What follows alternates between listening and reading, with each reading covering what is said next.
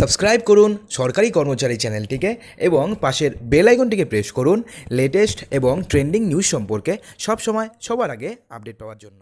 আগামী আটই জুলাই হতে চলেছে রাজ্যের পঞ্চায়েত নির্বাচন। এই পঞ্চায়েত নির্বাচন নিয়ে কিন্তু প্রতি মুহূর্তে নানান রকম গুরুত্বপূর্ণ তথ্য উঠে আসছে। তো আমরা চেষ্টা করব যে প্রতিদিন পঞ্চায়েত নির্বাচন নিয়ে সবচেয়ে ইম্পর্ট্যান্ট যে তথ্যগুলি রয়েছে, সেই তথ্যগুলি নিয়ে একটি ভিডিও করে আপনাদের জানিয়ে দেব। তো এই মুহূর্তে পঞ্চায়েত নির্বাচন নিয়ে তিনটি বড়সড় তথ্য সামনে এসছে।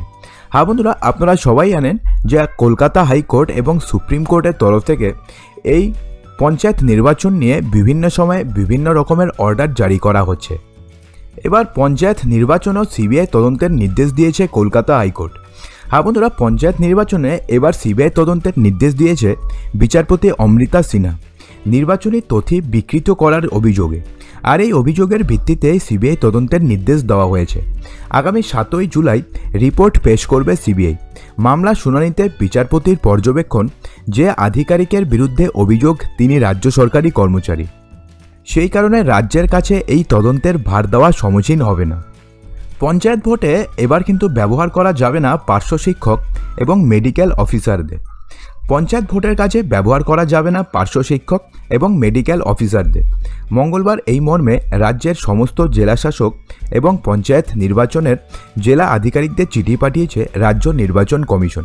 চিঠি পাঠানো হয়েছে সব জেলার পঞ্চায়েত এবং গ্রামোন্নয়ন আধিকারিকদেরও। মঙ্গলবার রাজ্য নির্বাচন কমিশনের অতিরিক্ত সচিবের তরফে একটি বিজ্ঞপ্তি প্রকাশ করা হয়। ওই বিজ্ঞপ্তিতে কমিশনের তরফে বলা হয়েছে যে তারা লক্ষ্য করেছে যে ভোটে পার্শ্ব শিক্ষক এবং মেডিকেল অফিসারদের চতুর্থ পোলিং অফিসার হিসাবে নিযুক্ত করার বহু উদাহরণ রয়েছে। কিন্তু এবার পার্শ্ব শিক্ষকদের যাতে ভোট সংক্রান্ত কোনো কাজে না রাখা হয়, সেই নির্দেশ দেওয়া হয়েছে কমিশনের তরফে। এর পাশাপাশি মেডিকেল অফিসারদেরও ভোটের কাজ থেকে বিরত রাখার কথা বলা হয়েছে ওই নির্দেশিকাতে। এর আগে পঞ্চায়েত ভোটের কাজে সিভিক ভলেন্টিয়ার এবং অস্থায়ী বা চুক্তিভিত্তিক কর্মী ব্যবহার না করার দাবিতে কলকাতা হাইকোর্টে জনস্বার্থ মামলা করেছিল বিজেপি। রাজ্য নির্বাচন কমিশন পঞ্চায়েতের ভোটের কাজে চুক্তিভিত্তিক কর্মী ব্যবহার করতে পারে বলে আশঙ্কা প্রকাশ করেছিল গেরুয়া শিবির।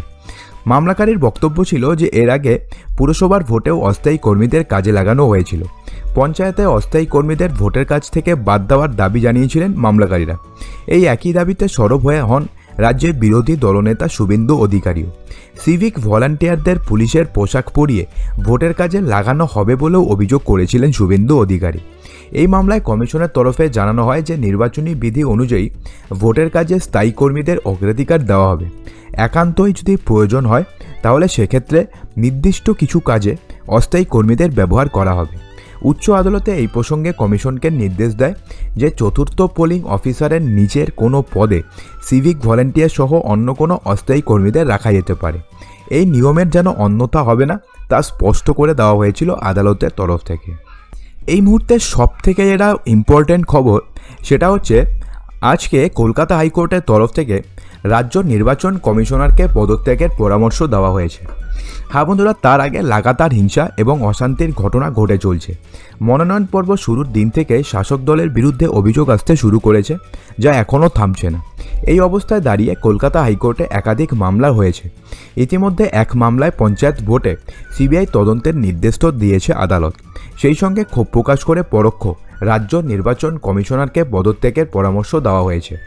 এদিন বিচারপতিকে বলতে শোনা যায় যে, এত অশান্তি রক্তপাত হলে উচিত নির্বাচন বন্ধ করে দেওয়া। নির্বাচন ঘিরে এই অভিযোগ রাজ্যের পক্ষে লজ্জার বিষয়।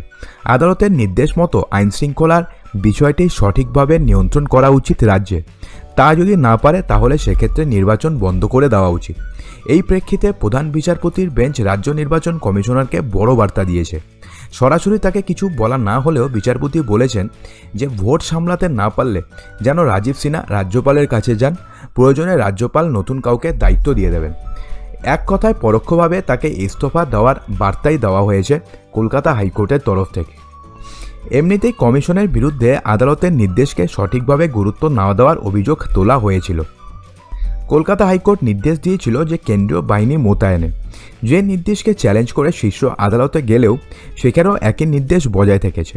তারপর কমিশন গোটা রাজ্যের জন্য মাত্র বাইশ কোম্পানি বাহিনীর আবেদন করে। কিন্তু পরে কলকাতা হাইকোর্ট স্পষ্ট করেছে যে দু হাজার তেরো সালের থেকে বেশি কোম্পানি দিয়ে দু হাজার তেইশ সালের পঞ্চায়েত ভোট করাতে হবে। প্রসঙ্গত দু তেরো সালে পাঁচ দফায় হয়েছিল পঞ্চায়েত ভোট এবং বাহিনী এসেছিল আটশো পঁয়ত্রিশ কোম্পানি। তো বন্ধুরা, এই নিয়ে আপনাদের কি মতামত রয়েছে অবশ্যই কিন্তু কমেন্ট বক্সে জানাতে একদমই ভুলবেন না। আর ভিডিওটি ভালো লাগলে লাইক করবেন শেয়ার করবেন এবং চ্যানেলটিকে সাবস্ক্রাইব অবশ্যই করবেন।